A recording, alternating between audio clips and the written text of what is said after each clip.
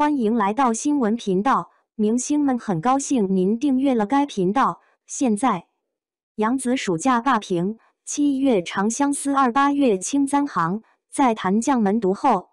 杨紫二零二四年暑假霸屏，七月《长相思》二，八月《青簪行》在谈将门毒后。二零二四年暑假档企鹅排了档期，接下来会是刘亦菲的《玫瑰的故事》，来自一书的小说，男主有佟大为、林更新和霍建华，是一部现代的女子成长历险记。多年前出过电影版，由张曼玉饰演女主，这部剧还是备受期待。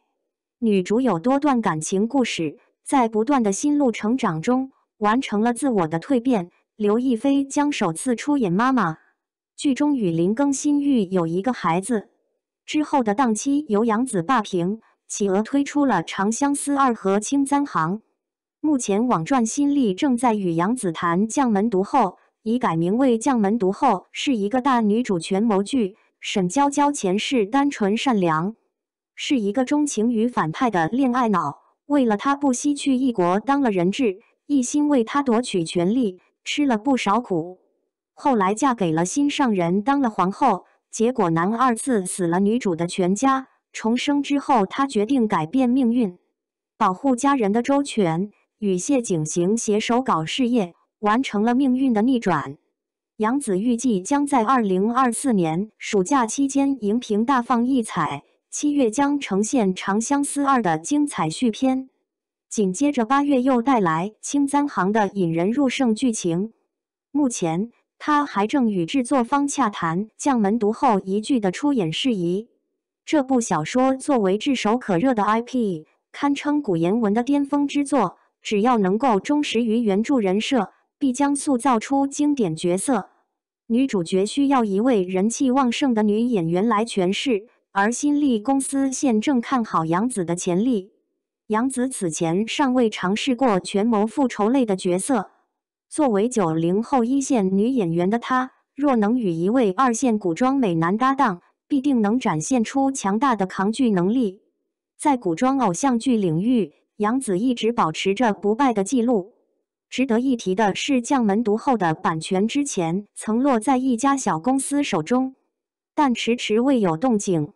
如今，新力公司成功拿下版权。计划将其打造成一部大女主复仇剧，期待杨紫的精彩演绎。近年来，新力出品的《庆余年》与《凤行》等古装佳作赢得了业内的广泛赞誉。如今，公司对于新剧《将门毒后》更是信心满满，立志将其打造为一部引领风潮的古装偶像大剧。不少网友纷纷猜测，该剧是否与《宁安如梦》有相似之处？实则大相径庭。将门毒后主要聚焦于权谋与复仇的紧张剧情，着重展现女主角的卓越智谋。与绝世美人的人设不同，本剧的女主角更是一位智慧超群的高智商谋士。姿色并非她的亮点，而是凭借出色的功绩，最终荣登皇后宝座。外表温婉，内心坚韧。第二世则深藏不露。这种剧情其实，在网络上已有诸多展现，而观众们对这类反转与深度的故事依然热情不减。相比寻常的爱情剧，这种设定无疑更加引人入胜，男女主角间的情感纠葛与张力也更为强烈。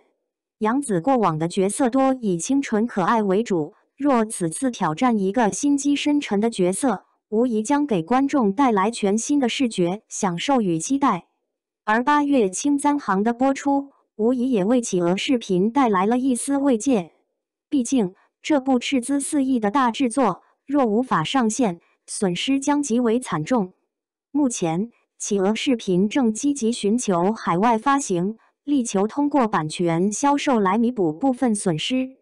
然而，想要在卫视播出，或许还面临着不小的挑战。杨紫倾注大量心血于《青簪行》的制作。如今能够顺利上线，实为幸事。至于替换的男主角，尽管开机时间尚未确定，但外界猜测很可能是彭冠英。据传，他将在完成《玫瑰的故事》的拍摄后前来补拍。由于 AR 换脸的成本高昂，制作方决定让演员亲自前来拍摄绿幕场景。彭冠英近年来虽未大红大紫，但新力对其颇为看好，双方已展开新的合作。对于彭冠英而言，此次补拍或将成为未来更深入合作的契机。此前也曾有传闻称考虑过林更新，但因其粉丝的强烈反对而作罢。林更新这位八五后男演员界的佼佼者，即便近年来他选择在家休养，其人气与热度却依旧居高不下。因此，对于补拍《青簪行》这样的提议，从某种角度看，确实并非必要之举。相较之下，或许让那些名气尚未鼎盛但实力非凡的中生代演员来担当更为合适。林更新的粉丝也对此持有相同观点，他们纷纷公开表示反对他参与补拍，而林更新本人因手头工作繁忙，也并未应允。然而，新力或许是被林更新深入人心的王爷形象所吸引，认为他与男主角的形象相得益彰。于是转而寻找了合作中的彭观英。彭观英此番参演《青簪行》，实乃一大契机。该剧播出后，收视势必不俗。